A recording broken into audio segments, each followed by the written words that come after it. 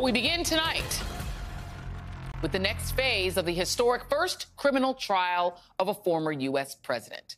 That is because the defense in Donald Trump's hush money election interference trial rested its case today. And counter to Trump's many claims, they rested without hearing a word from him on the witness stand. Closing arguments are scheduled to begin one week from today.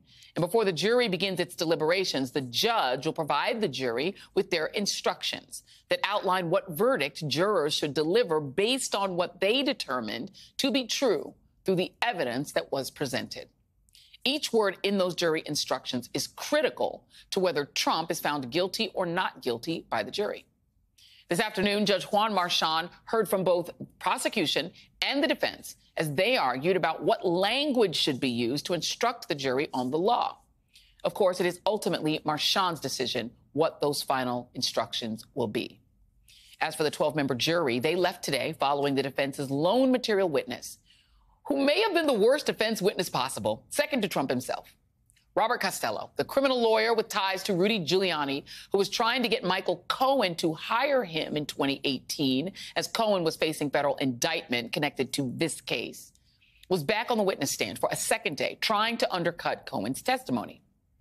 Instead, he wound up undercutting his own credibility as prosecutor Susan Hoffinger used his own emails against him where he disparaged Cohen and showed that he was really working for Trump and not Cohen. In an email to his partner, Jeff Citron, Costello wrote, our issue is to get Cohen on the right page without giving him the appearance that we are following instructions from Giuliani or the president. In my opinion, this is the clear, correct strategy. In another email to Citron, Costello wrote, Tune in to CNN and see how they are playing this up. Cohen has to know this, yet he continues to slow play us and the president. Is he totally nuts? What should I say to this a hole? He is playing with the most powerful man on the planet. Perhaps the biggest surprise today is that the defense rested its case without even attempting to raise a defense about the actual case against Trump. All they seemed to do was attack Cohen, his credibility, and his motives. Now, to be clear, a defendant is not obligated to make a case in a criminal trial. But in this case, Trump's defense team made a promise to the jury. During his opening statement, Trump defense attorney Todd Blanche made the claim that the jury would learn that the money Trump paid to Cohen in 2017 was not a payback, especially not a reimbursement for the money Cohen paid to Stormy Daniels. It was all just a retainer agreement because Cohen was Trump's personal attorney. And yet, the prosecution laid out three key pieces of documentary evidence that the defense failed to bring up, let alone counter at any time. There was the handwritten notes by Allen Weisselberg on the First Republic bank account statement showing the $130,000 wire transfer to Stormy Daniels' lawyer that notes the breakdown of the repayment plan to Cohen, including grossing up the amount to cover any tax liabilities and adding a bonus which amounted to a total of $420,000.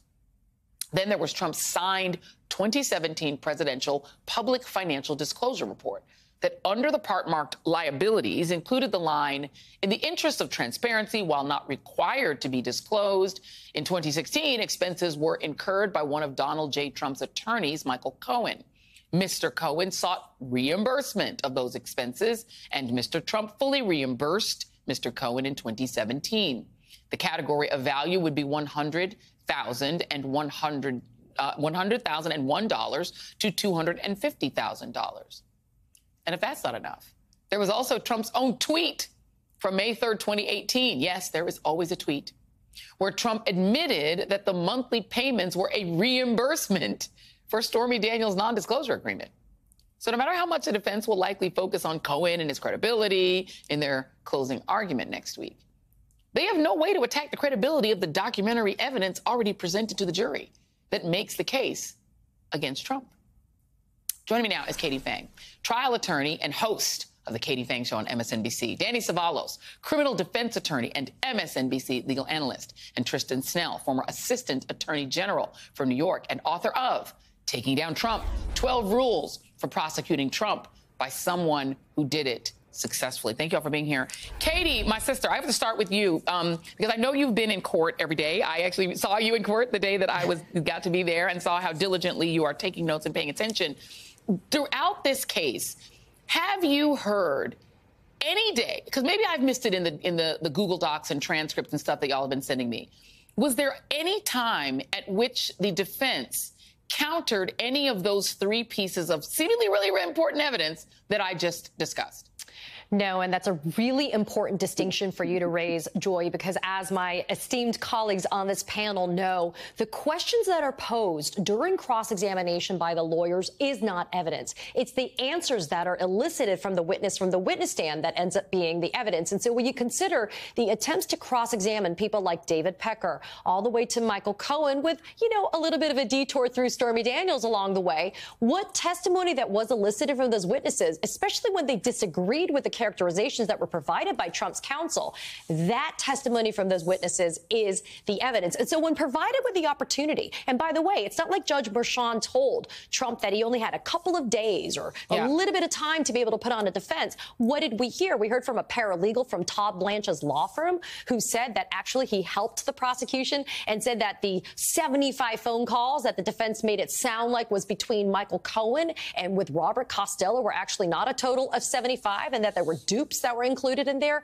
But more importantly, you heard from Robert Costello. And so you would think at some point in time, someone on behalf of the defense would get up and explain not only what you just put up as uh, the graphics, right, at the beginning of this segment, but what about that meeting in Donald Trump's office at Trump Tower after Michael Cohen met with Allen Weisselberg with that account statement from Essential Consultants LLC, where Donald Trump approved it verbally and signed off on the fact that Trump would then pay Cohen $420,000 for $130,000. We didn't hear anything about that. And so Trump had a lot of opportunity to be able to take down the credibility, even more so, of people like Michael Cohen, and he failed to do so. And so, of course, the jurors, as you noted, they're gone for seven days, Joy. They recess today. They don't come back till Tuesday morning at 9.30. And as Tristan and as Danny knows, that's a long time for them to sit and think about the last thing that they heard. And the yes. last thing they heard was bad stuff from Robert Costello.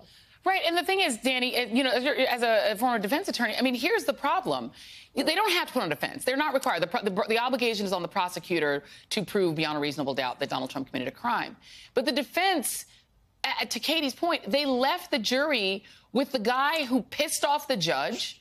You know, I've been a, a grand juror. I mean, I, I, I, haven't sat in a jury. I was dismissed when I've, and the last time they tried to call me for jury service, they're like, yeah, you get out. Um, but I imagine that the judge is probably the most popular person in the room. And so if you're making the judge mad, I'm not sure you're very popular with the jury. Whereas Michael Cohen was a calm witness who went methodically through, and the prosecutors seem to be quite brilliant, and they're good and succinct. What sense did it make to leave the jury with that bad taste in their mouth today? What did it accomplish?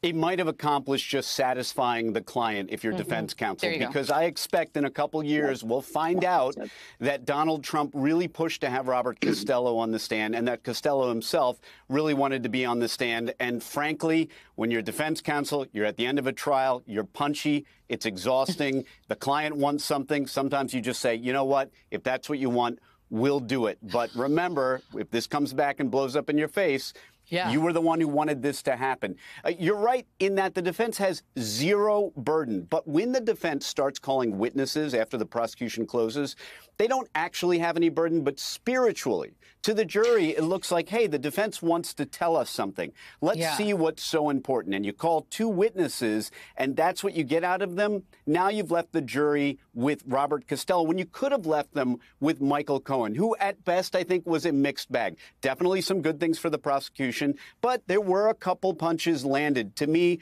the most significant punch was the revelation that Michael Cohen stole, literally stole money from this guy that the prosecution has painted as sort of having a Svengali hold over Cohen and that all of Cohen's sins were only because he loved and adored and had this undying loyalty to Trump. Not so fast. He actually, Cohen, when the opportunity presented itself, he stole from Trump. That was a point to be made. But the bottom line is you could have left the jury with Cohen's cross examination essentially. Now they're left with Costello. It's awkward. It's a little strange.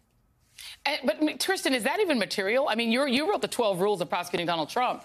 Is one of the rules that you have to have a pristine witness that's never done anything wrong? Because at the end of the day, Michael Cohen committed crimes for Donald Trump. And I, I, you know, even that part of it that, you know, respectfully, that what Danny talked about, I'm not sure how that's material. The question at hand, as I understand it, is did they pay off Stormy Daniels? Did, did Michael Cohen make that payment himself, committing crimes in the process? Did he expect to be paid back? And was he paid back? And did the Trump organization falsify their business records in order to do that? And was that entire scheme for the purposes of helping his campaign?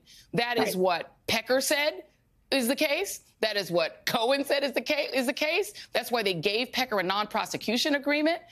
I don't see if, if you want to say, you know, Michael Cohen jaywalked 10 days a week and didn't know how to cross the street without running in front of a bus and, and messing up traffic. So what if I'm a juror? Yeah, I think this is an area where jurors are going to have the common sense that if you're going to catch a criminal or an accused criminal, there might be some other unsavory people or people who did unsavory things that were around that guy. Like if you're going to get to that inner circle, you're going to find other people that were not doing particularly great things for the guy who's being accused of crimes.